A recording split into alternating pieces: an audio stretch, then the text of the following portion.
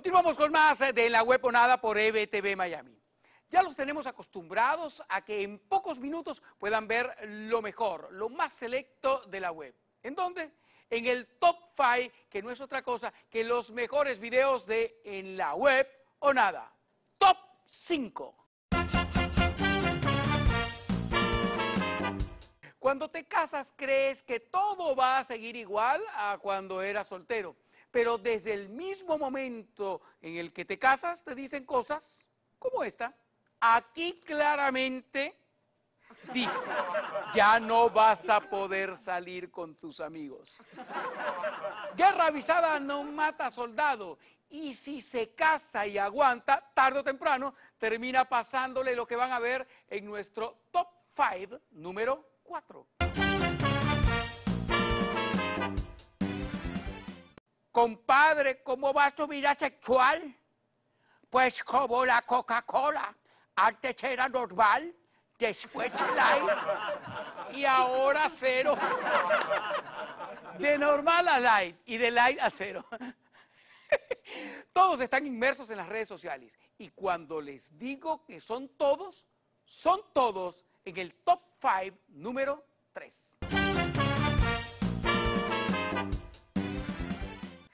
La Mona Lisa ya se actualizó. Esta es su foto de perfil. Si le gusta la nueva imagen de la Yoconda, solo tienes eh, que darle un me gusta o te sirve un retweet.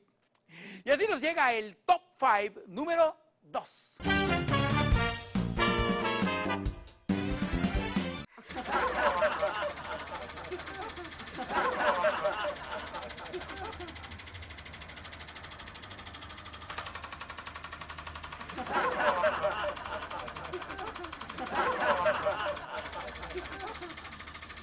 El último grito de la tecnología en ventilación, el ventilador Rambo. Y así llegamos al top 5 número 1. Ya se fue Maduro.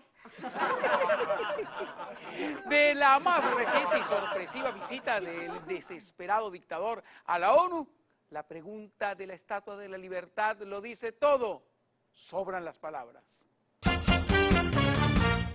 Una famosísima canción de la Villos Caracas Boys hacía alusión en su estribillo a que mientras unos van riendo, otros van llorando. Para que vean quienes van riendo, cálense esta web o nada.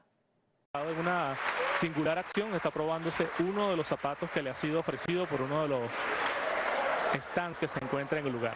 Quizás ha sido de su agrado y por eso rompiendo el protocolo, eh, muy a su estilo, se encuentra ganándose lo que es el aprecio y las risas de las personas que se encuentran acá, que no han desaprovechado este momento de pasar esta singular escena que estamos llevándole a ustedes en vivo y en directo, pero que también tiene algo cargado de simbolismo, ya que precisamente la utilización de los productos nacionales ha sido una de las vértices del gobierno nacional.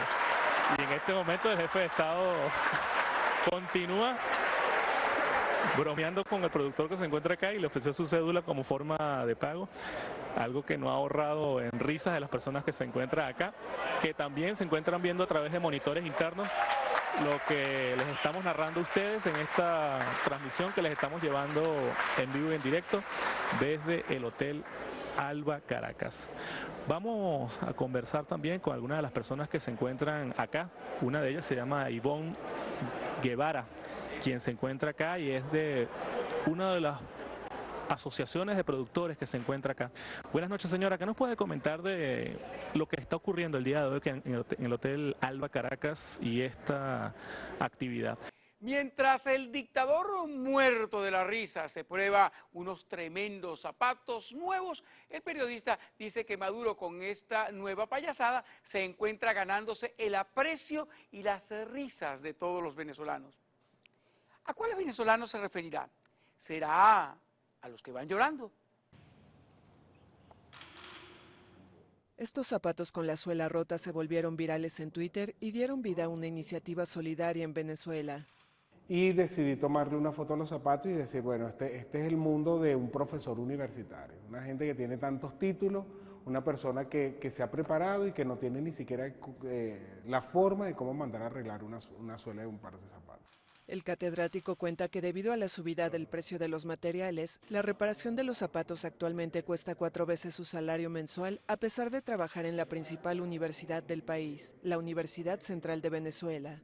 Su mensaje publicado el 29 de junio contabiliza 10.000 retweets, unos 5.400 me gusta y casi 1.000 comentarios. Pero la solidaridad no se quedó en palabras. Ibarra ha recibido donaciones de calzado nuevo y usado, ropa y dinero que lo llevaron a crear el movimiento Zapatos de la Dignidad para ayudar a otros profesores. Sin embargo, tú vas a conseguir profesores acá que vienen a la universidad y no han comido, vas a conseguir profesores que definitivamente se han enfermado a partir de esta crisis y no consiguen los medicamentos. O sea, es una situación de eh, precariedad. La crisis económica en Venezuela no da tregua en medio de una dramática caída de la producción petrolera, escasez de todo tipo de bienes básicos y aumento de la pobreza. El Fondo Monetario Internacional proyectó el lunes una inflación anual de hasta un millón por ciento en el país. ¿Escuchaste, Maduro? Los zapatos de la dignidad. De eso se trata. De algo que tú ni tienes ni tendrás jamás. Dignidad. Lo menos eh, que podemos es eh, poner de una canción, una canción que te va a hacer recordar cómo son actualmente los zapatos de casi todos los venezolanos. ¿Estamos? Estamos. Los zapatos de Manacho son de cartón, son de cartón, de cartón. Y para terminar nuestro programa de hoy, la pregunta obligada de siempre y realmente existe esta huevonada.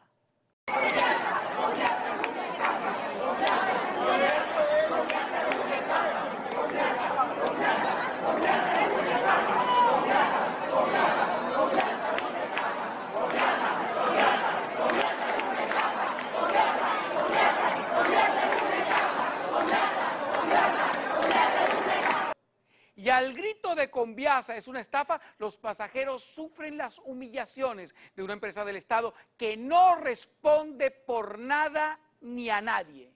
Pero mientras esto sucede, el gobierno le otorga 500 millones de dólares a Conviasa para esto. Un centenar de venezolanos espera en la embajada de su país en Lima, Perú, para regresar a Caracas en un vuelo de la aerolínea Conviasa que partirá del Aeropuerto Internacional Jorge Chávez a las 15.30 horas locales y que será financiado por el mismo presidente de Venezuela, Nicolás Maduro. César Enrique Bustamante Llosa, director general de Comunidades Peruanas en el Exterior y Asuntos Consulares, informó a una televisora local que el retorno de los venezolanos está dentro de las responsabilidades de cada estado de proteger y asistir a sus nacionales. Para facilitarles el retorno a su país, Obtener un pasaporte se ha vuelto cada vez más difícil en Venezuela debido a la escasez de papel y tinta y lograr una cita puede tomar meses. Perú recibe a miles de venezolanos que huyen de la crisis económica y social en su país. Medidas internacionales. Los directores de migración de Brasil, Colombia, Ecuador y Perú mantendrán el lunes y martes una reunión a puertas cerradas en Bogotá en la que se revisará la forma en que países receptores de venezolanos vienen atendiendo a esta población en materia de educación, salud, trabajo y regularización migratoria. La migración que se está dando hoy en día es por hambre, por temas de salud. Por esas medidas de expulsión migratoria del señor Maduro. En la manera que no trabajemos esto de manera coordinada, de manera regional, vamos a tener impactos en estos países y no es responsabilidad de los países vecinos. 500 millones de dólares para que Conviasa realice el panfletario y politiquero regreso de unos pocos cientos de venezolanos pagados mientras que millones están muriéndose de hambre y de mengua por falta de recursos.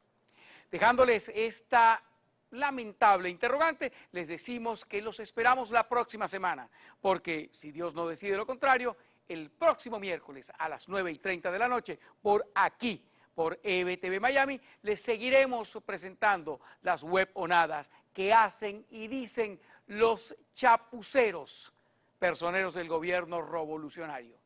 Hasta el próximo miércoles. Chao, chao.